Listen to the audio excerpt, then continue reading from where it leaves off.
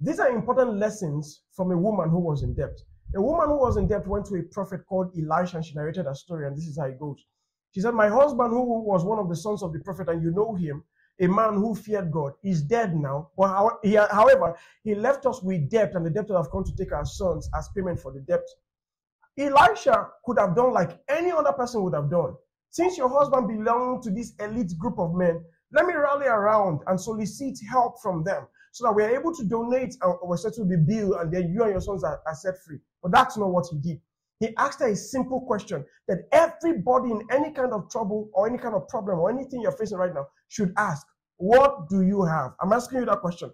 What do you have? Oftentimes, what you have is little. What you have might seem insignificant, but it is the gift of God given to you to liberate you from all kinds of problems.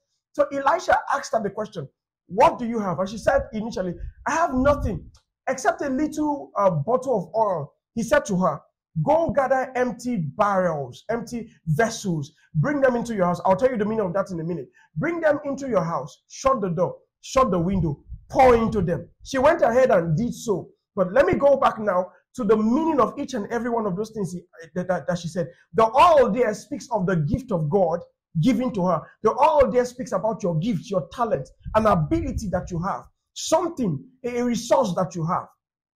Even though, though little, it has the ability to liberate you. It has the ability to bring you out of that trouble. You need to identify it. So the first thing is identify what has been given to you. The next thing he said, gather empty barrels, empty vessels. Empty barrels speaks of opportunity, space, right? It speaks of opportunity. So you find out when you find the gift, you find your talent, you find that thing given to you, find opportunity for the manifestation of it. However, he said to her, bring them in to your house, shut the door, shut the window. The doors represent your eyes, the windows represent your ears.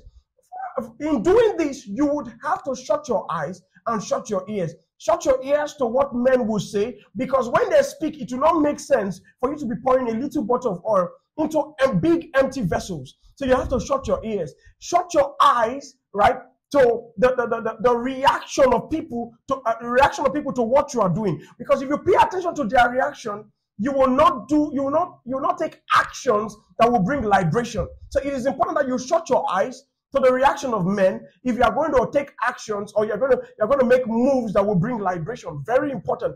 And the woman did exactly how the, exactly what the prophet has said. She went, she gathered empty vessels, brought them into her house, shut the door, shut the window, shut her eyes, shut her ears to what anybody will say, and began to pour. Now, hear this. For as long as there is an opportunity, your gift will continue to speak.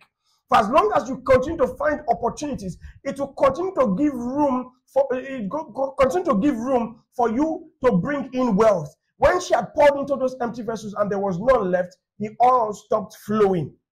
You must take note of that until there is no more opportunity, which is difficult, uh, which is practically impossible. Your oil will continue to flow. For as long as there is an opportunity, your oil will continue to flow. And when she was done, the prophet, said unto her, Take the barrels of oil, go sell them. And when she sold them, the Bible makes us to understand that she sold them, they were enough to pay the debtor and enough for her and her children to live on. This is what happens when you do not just go look for men to give unto you, but you pay attention to find your gift, to find that thing that God has given unto you, to liberate you. Because what He does is He brings you out of trouble and He establishes establishes you to stay out of trouble. Is a lesson we must all learn if we are going to we are going to move from problems into the manifest into manifestation of glory. If you like this video you've watched, uh, click the like button, share, comment, uh, ask someone to watch, subscribe, follow.